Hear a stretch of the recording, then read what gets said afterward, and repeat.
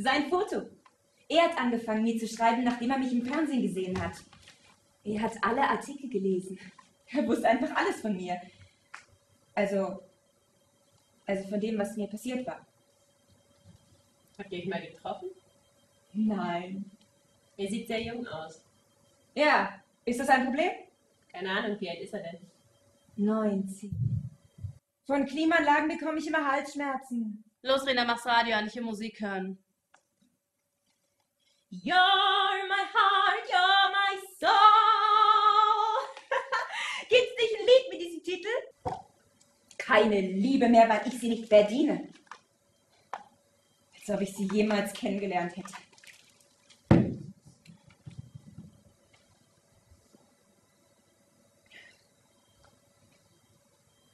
Doch. Doch, ich habe sie kennengelernt. Mit meiner Tochter. Ich liebte sie mehr als mich selbst. Nie bin ich aus dem Haus gegangen, ohne zu schauen, ob alles in Ordnung war. Ob es ihr gut ging. Und es ging ihr gut, es ging ihr immer gut. Und wenn es eine gab, der es, der es nicht gut ging, dann war ich das. Und was glaubst du, als ich sie beim Baden ins Wasser gedrückt habe? Da wollte ich noch, dass sie. Da wollte ich noch, dass sie. Da wollte ich noch, dass sie. Deine Tochter Georgina! Ich finde, das ist gefährlich.